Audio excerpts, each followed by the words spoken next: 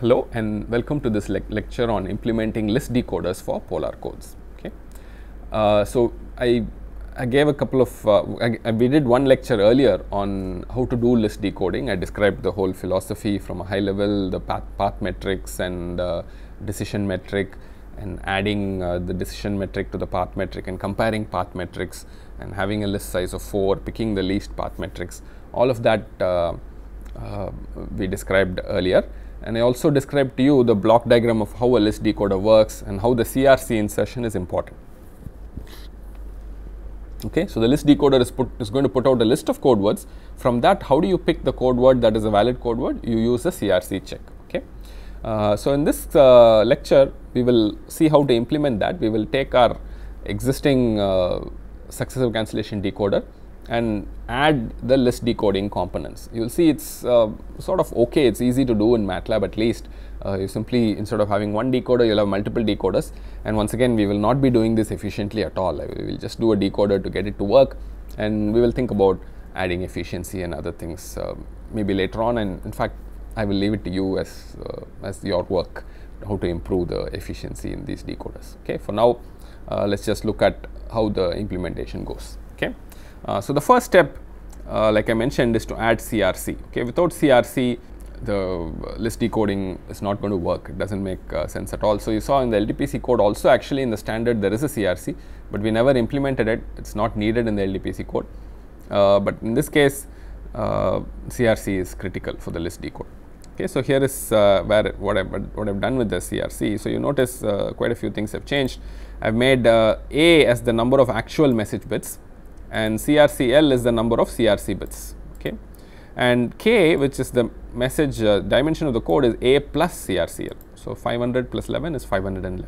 Okay, and uh, for the CRC comes with a polynomial and the polynomial is uh, clearly defined in the standard. This is that's the polynomial for you. Okay, so if you write it out as a polynomial, okay, so the CRC for length equals 11, the polynomial uh, as defined in the standard, it's uh, right there. Okay, 1 1 1 0 0 0 1. So this is uh, uh, x bar 11 plus x bar 10 plus x bar 9, uh, 8 7 6 x bar 5. Okay, the polynomial is x power 11 plus x power 10 plus x power 9 plus x power 5 plus 1. Okay, so this is the polynomial. Okay, and uh, the way in which you do CRC, we, we are not going to describe the ideas of CRC and all that in this class, uh, but we, we will see how to implement it in MATLAB at least. So, this is the CRC polynomial, you need this. So, if you choose to do a CRC of a different length, let us say length 16 or something, then okay. So, if you choose to do a polynomial a CRC of a longer length, say 16 or 24, these are also possible, then you have to change your uh, CRC polynomial, okay, you change it to something else. All right. So, now uh, the next thing I put, so you see the quantization, all of that is fine. Uh, next thing I have is list size, okay. So, I am picking that as 4. Uh, you might want to have 8 maybe later on if you want more uh, performance, but 4 is uh, 4 is a good enough number and seems like a reasonable number. And notice here rate becomes a by n, okay, it is not k by n anymore, it is a by n. The reason is CRC bits are actually parity bits, they are not message bits and we are using those parity bits in the decoding in the list decoder. So, this rate is a by n and that is uh, something important as well, okay. So, you should capture that as well, okay. So, once you do that other things do not change too much except, uh, so let us focus on the CRC computation, okay. So, you have the message that gets generated, remember I am generating only a messages now, not k, okay. and then I do a division. You have to divide uh, one polynomial by another. So, what I am doing here is uh, setting up those polynomials okay, and I am using this function gfdconvolve uh, which is available uh, in MATLAB. It is also available in Octave. So, if through some toolboxes. So, you can this, this command will work. So, it will divide the first polynomial in binary by this other polynomial. Uh, the reason why we do this flipping, okay, so you saw the flipping even in the CRC G, uh, G definition if you saw it earlier. So, even here I flipped. Uh, the reason is this g of t convol function uses uh, values in increasing powers. So, you have to do this flipping to make sure that uh, the increasing powers of the polynomial get correctly reflected. Uh, the, the zeros I put here is the remainder. Okay, the remainder will come and occupy the zero positions and uh, this is just the message flipped so that the polynomial becomes the correct degree and then you have that down here. Okay, so you find the remainder, the quotient is actually not very relevant to us, the remainder is what matters and the remainder gets added to the uh, CRC part. Okay, so the message comes as it is and then you will uh, uh, take the remainder and uh, 0 and I have done uh, flip LR as well. Okay, so that's okay. So, so that the remainder which is again in increasing powers becomes in decreasing powers. Okay, so this is how it is done. Okay, so this is described in the standard as well. And the only thing to note is I use this DF GF deconvolve uh, to do the division of polynomials. Okay, so, so, polynomial division is not very difficult to write in case uh, you don't find it. It's easy to write polynomial division, uh, but nevertheless, uh, this is we use this function to make our job easier. Okay, so you have message and then you have message plus CRC. This will be k bits. Okay, so this will be uh, this you can see I have made it equal to CRCL. Okay, the length I have added enough zeros to make sure that the overall length is CRCL and this will be k bits. Okay, so maybe I should write that down. And then after that, I just encode CRC. So message CRC is what gets assigned as the u value. Okay, so something to take note of.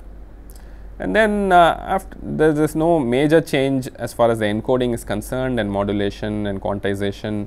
Uh, then comes the big change in the SC decoders. Okay, so you need NL decoders, right? So whatever, how many ever uh, list size you want, that many decoders you need. Okay, so these LLR values. Okay, so previously I think I had it as capital L. I have now changed it as LLR. It's just a change in the notation. These LLR values will not just be n plus 1 comma n. So, if you go look at the SC decoder, this is just the successive cancellation decoder. If you look at the successive cancellation decoder, this L was just n plus 1 comma n. What have I done in the list decoder? So, if you notice this first tab I have is the SC decoder, the last tab that I have is the SC list decoder. In the list decoder, this LLR values, there is 3 dimensions in the array. Okay, the first NL gets added, NL comma n plus 1 comma n. For every uh, decoder, I need a new array, a different array. Okay, okay. So we need NL uh, uh, of these U caps also. Okay, and then I need the path metric. Path metric I am calling as PML. So this path, path metric wasn't there before. We need it now. Uh, if you notice, I am initializing the path metrics. There are NL of them, and all of them I am initializing to infinity. Okay, and then I am setting the first alone to zero. Okay, so which means initially only one decoder is active. So if the path metric is infinity, it means uh, it's not going to be considered by anything. Okay, so infinity is just a value I use in MATLAB. You can use some other value if you don't like it. Okay, so that's the path metric for you. Okay, so this node state vector is actually common to all the decoders. Okay, so you don't need to maintain multiple values for node state vector. It's the same thing. Was all the decoders traverse at the same time. Okay, they are synchronized in that fashion. Okay, so initialization at the root now previously we did only for uh, one uh, one decoder so the only one value got initialized now we have to repeat it for nl times okay so all the beliefs of all the decoders are initialized okay and then after that the decoder actually proceeds in the same way so the node and the depth and moving uh, left down and then going back up and then going right doing the f operation doing the g operation doing the u operation to go up all of them are the same okay except that you have to repeat it for all the decoders Okay, so let me start with the uh, L operation, okay, right, this doing the step L and going to the left child. Uh, so, if you notice nothing much has changed except that this command, this ln uh, was not using the squeeze before, but now I am doing the squeeze. So, if you look at it LLR of colon, which means I take the values from all the decoders, not just the one decoder, all the NL decoders, and then I squeeze out that uh, the dimension. The depth plus 1 is just a single dimension. So, I squeeze it out. So, I get a two dimensional array. This Ln will be a two dimensional array. Okay. And then I split it into A and B and then everything else is the same and then I assign the f value back into the uh, original array. Okay. So, that is all. So, instead of doing it for one decoder, the same operation I repeat for NL decoders at the same time. Okay. Same thing with step R also. Nothing changes in step R. Uh, same way we squeeze and you know we get from the three dimensional array we go to a two dimensional array okay, to get all the values for a particular depth. Then you find A, B, same thing with U cap n, nothing changes except that you are doing the same operations for 4 decoders. Okay. And same thing with step U also, okay, the step U that goes to parent, nothing much changes. You do it for all 4 decoders. Okay. The only significant change is in the decision. Okay. When depth is n, Okay, when it is a leaf, you need to make decisions and there the list decoder has a lot of change. Every time you make a decision, you have to update the path metric, you will get 8 path metrics, you have to choose the best 4 out of the 8 path metrics and throw away and do some rearrangement in the decoders. Okay. So, that requires uh, some effort okay and this, there is a change there and let me uh, talk about it first. First is the decision metric okay this is the decision metric for the 4 decoders and first you check if it is frozen. If it is frozen things are easy. Okay? If it's frozen there is no need to look at both decisions if you remember from the lecture. If the bit is frozen you simply decide everything is 1 everything is 0 but you update the path metric. This is important. Okay? Path metric is updated. If the path metric is negative the absolute value gets added. Okay? This piece of code does that for you. Okay? Absolute value dot into dm less than 0 so if the if the actually the dm is negative it will get uh, the absolute value will get added to the path metric okay? And then after that in case it's not frozen you have to make decisions. Okay? I'm first deciding according to the decision metric. This dec is a decision as per the decision metric. Okay? And uh, now what i do is in pm2 not only do i consider the decision metric this is i also consider the opposite decision which will make the the path metric increase by absolute value of dm okay? So that's what i put here in pm2 first nl are as per dm next NL are opposite of decision metric. Okay, so the decision you made in the first NL positions is according to the decision metric. The next NL, uh, the in the eight decoders you are considering, the first four decoders, the decisions you made were as per the decision metric. The next four, it is opposite to that. Okay, so there are multiple ways to do it. I am doing it in this fashion. Okay, and then I do these adjustments. Okay, so find out uh, those that survive. So this is the important step. This is the sorting step Okay, so this uses min k. What is min k? If you have an array, min k will give you the least 4 elements from the array. Okay. So, remember this uh, PM is all positive value, so you do not need to take absolute value anymore. So, this min k will give you the least k values from an array. So, this PM2 has 2 times NL uh, length, okay, 2, 2 times NL, if NL is 4, it has length 8, out of which I will take the least 4. Okay.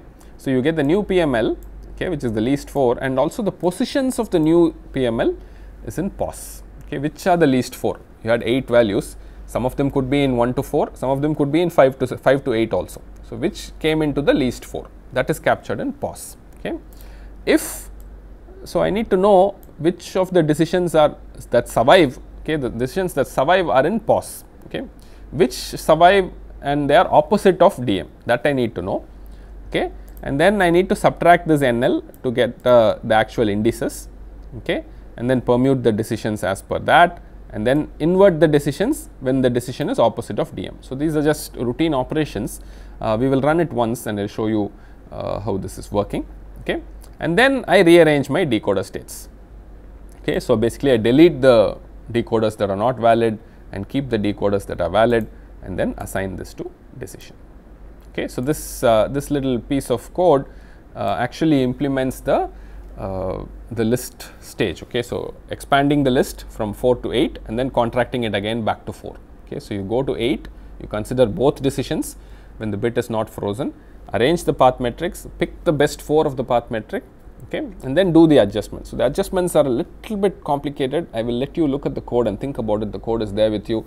If you run it once or twice, uh, you will see how the code works and uh, you will understand what I mean. Okay, so it's a little bit uh, involved. I don't want to go into great detail on the code. Okay, but this part implements uh, exactly that. Okay, so if you have a version of MATLAB or Octave, I urge I'll let you run it for a while with some small length maybe, and then look at the look at what this piece of code is doing and then you will learn a little bit more about how this is doing and clearly this is not the only way to do it there are multiple ways to implement this if you have a better way you're welcome to implement this as well okay so, this is the implementation of the list decoder. Uh, please look at this part of the code and try to see if, uh, if this is correct or if I made any mistakes or if you think you can uh, improve this in a nice way. Okay. So, that is uh, that is the implementation of the list decoder. Okay. So, now uh, what, what I want to do is maybe maybe run this once, I will run it once. Uh, now, when you run it, it is good to stop at a particular place now, MATLAB's decoder uh, debugger allows uh, all these kind of nice and simple conditions uh, to make you stop somewhere. So, I will stop at some point let us say 250. So, at the 250th node I want to stop. So, I will set a conditional breakpoint there and then I will run it.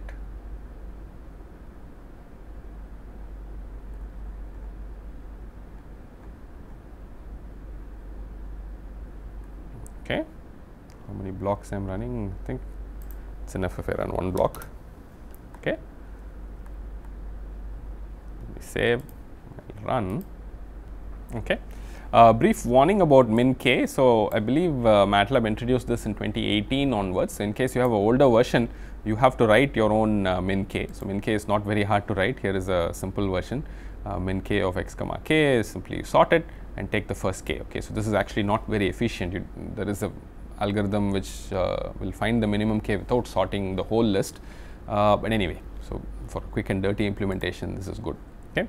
Uh, I have set my uh, uh, breakpoint here and now I am going to run this. So, so we can implement our own version of min k, you, you need to return the minimum k elements and where they are also. Okay. So, that requires a little bit of coding and you can do that with sort, uh, sort sorts it in ascending order, you pick the first k and return it and pick the first k positions and return it. Okay. So, this will uh, should work and this is your own min k and you can use MATLAB's min k as well, uh, it is probably definitely more efficient if you have uh, 2018b or later I think that will work. Okay.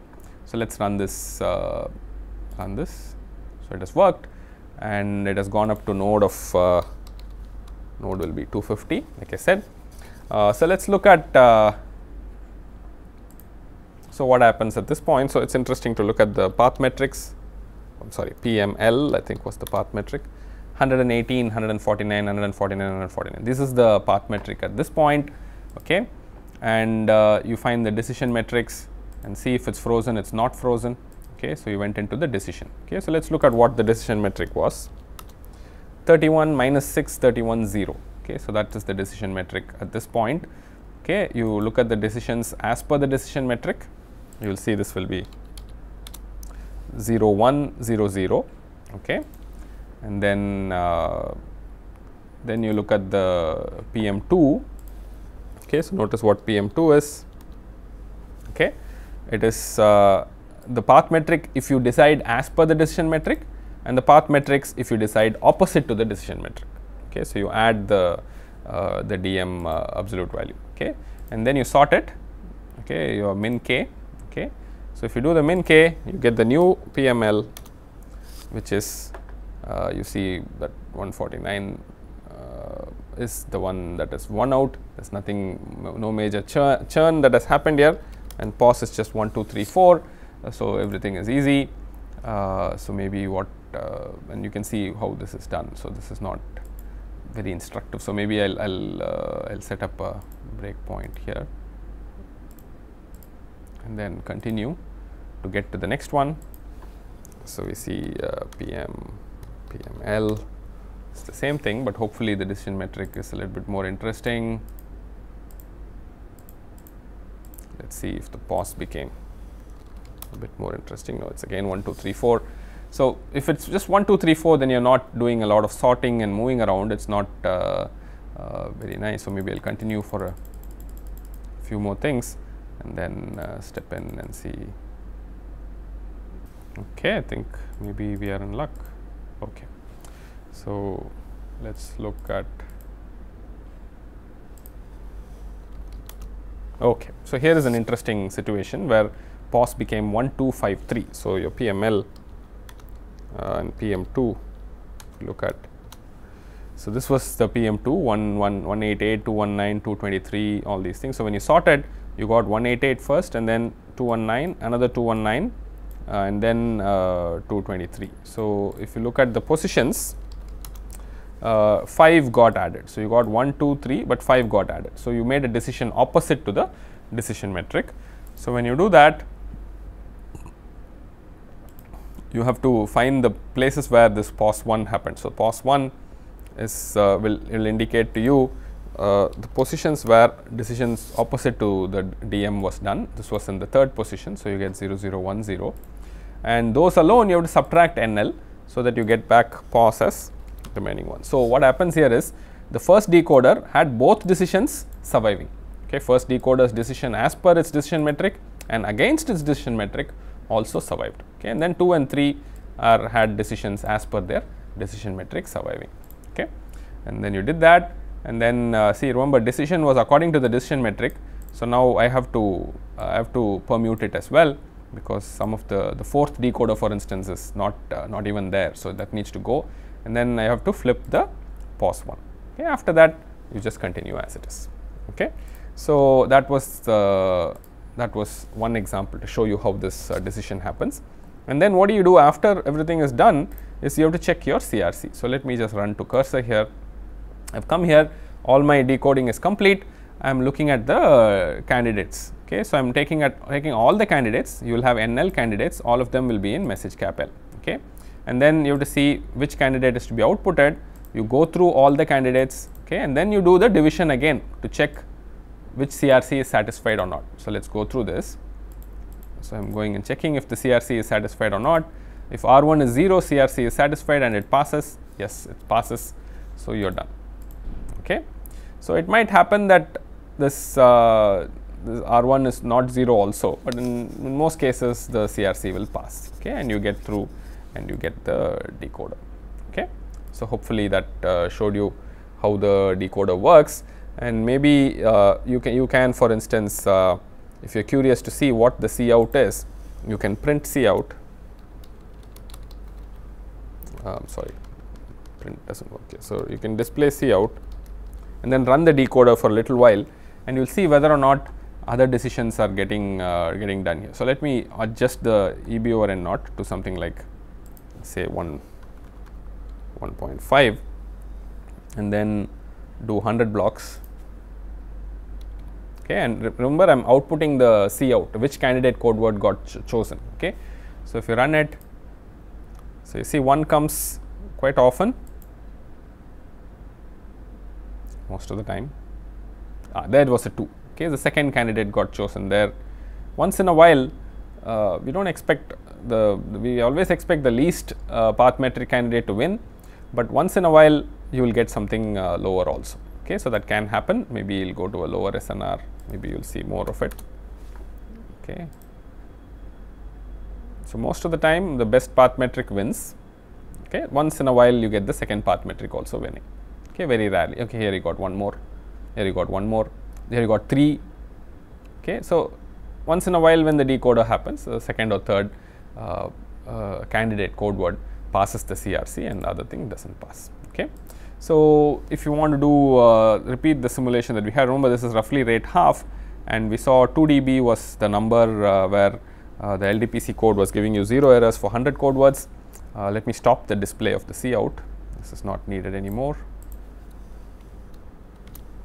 Okay.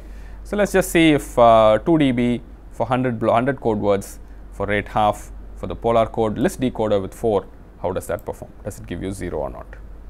It will give you something better than the uh, SC decoder at 2 dB that gave about 12 errors out of 100 if I remember correctly. This should give you something better. Let us see. So, it gives you 0. Okay, so, you see in these 100 code words the list decoder uh, decoded and gave you 0. If you actually run uh, for uh, the SC decoder at 2 dB which we did a little while ago 2 dB with 100 blocks you will see this will give you some errors, it not give you 0, it give you 14 errors out of 100. So, you see there is an improvement in the list decoder. Okay. So, so we see that the list decoder really improves in performance by that little bit uh, to make it uh, comparable maybe with the other decoders. Uh, so, in an ensuing lecture, the final lecture possibly of this course, uh, we will compare this uh, rate half length 1000 code between LDPC and Polar and then uh, run simulations and com compute, uh, I mean show you the simulation results and I will show you how you can compare these three codes and decoders and uh, make a nice plot of BER versus EB over naught and make a fair comparison. Okay, with that we will conclude this course. Okay, thank you very much.